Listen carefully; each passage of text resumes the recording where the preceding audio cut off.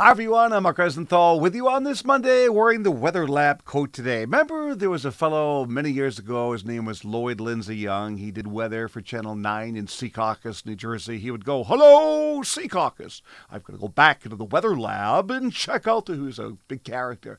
You ever notice that all the characters, all the personality folks that are on the air are gone in terms of doing weather? It's too bad. We had a lot of fun. All right, enough said about that. Let's uh, let's do our own little shtick here, shall we, and get on with it and talk about the weather headline. Not a great weather pattern over the next several days, folks. That doesn't mean it's going to be raining all the time, and we should see some sun on Tuesday. But what weather should return in earnest, if you will, on uh, Wednesday night and Thursday? Better, the way I see it right now. Friday and Saturday, I'm still working on the weekend for you. So for today, a lot of clouds, cool, occasional showers, but again, uh, there'll be times where it's not doing anything.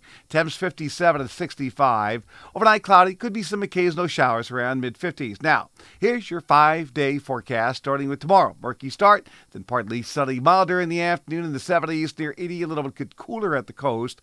Wednesday, variable clouds, broken clouds, mid 60s, and a storm comes up late Wednesday night, Thursday with rain. Rain on Thursday, low 60s, and variable clouds, windy, drier on Friday near 70. Saturday looks great.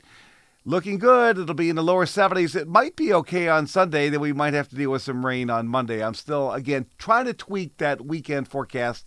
Still a little bit funky, and so are the next couple of weeks. If you're looking for a prolonged period of sunny, hot weather, I don't see that either. All right? It's okay. I want you to have a wonderful Monday, everybody. Stay tuned. We'll keep you posted. I'm Mark Rosenthal.